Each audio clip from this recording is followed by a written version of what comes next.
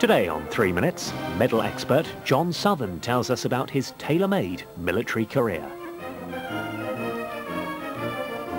When I joined the army at the tender age of 14, two days off my 15th birthday, uh, I joined as a boy soldier and I had actually uh, intended to follow in my father's footsteps and become a military chef. Uh, but somewhere along the line that got lost uh, and I ended up tailoring.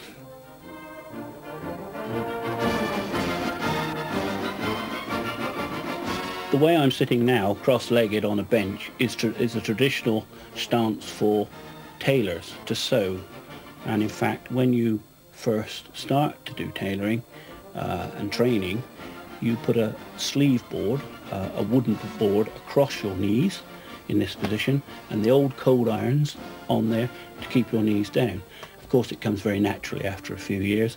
And the reason for sitting like this is because it's so much easier to rest the clothing all the way to the clothing on the knees and it's the shortest distance from the knees to the eyes to be able to see what you're sewing.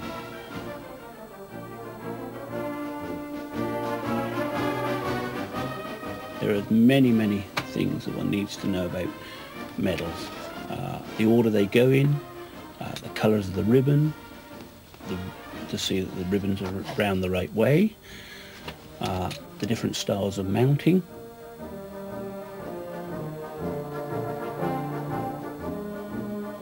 but the whole of uh, someone's life uh, is depicted there within that set of medals.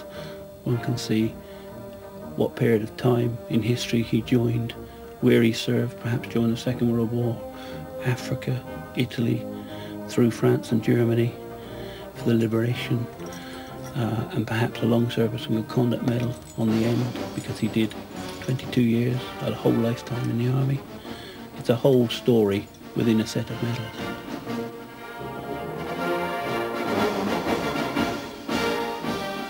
I spend every day mounting people's medals, and I love medals.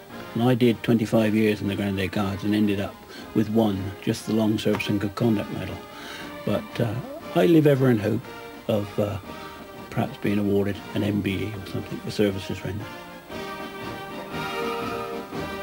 If you have an interesting job or hobby that you're passionate about, write to us at 3 Minutes, PO Box 330, Southampton, SO14 OHL.